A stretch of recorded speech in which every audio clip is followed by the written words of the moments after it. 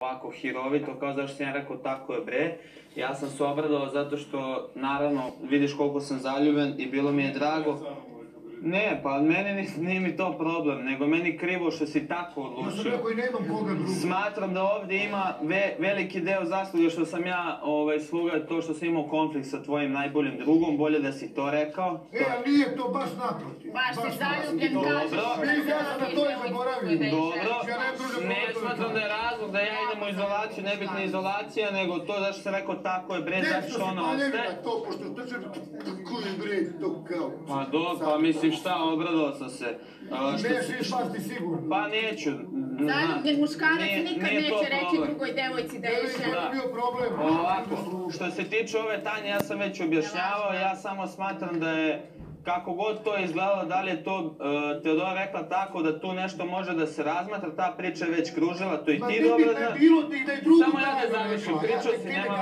Okej, Ovdje razumem. ti nešto da ti dobio to u startu kanal. Ok, znači ja sam rekao, ok, ja kažem, uh, ona je samo iznala neku situaciju koju ona vidjela, ono se viđa neke situacije. Nije direktno nikog optužila, niti rekla. Kako je rekla, ovdje mnogi ljudi pričaju, da, možda jesam, možda nisam, pa ih niko ne napada. Znači, to je bilo možda, možda. Ko kako pa Ti tumači. dalje rekao. Ne možeš to znam.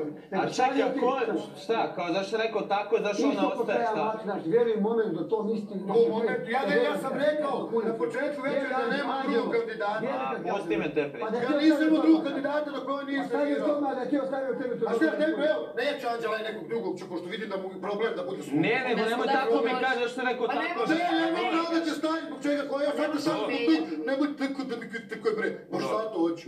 Zašto me sponašaš? Zašto me ne slušaš kad ti dam dobar savjet? Zašto si sujetan mladi dečak koji ne kapira o čemu mu priča? Da se smiriš, da ne treba da skačeš, da se svađaš, da divljaš.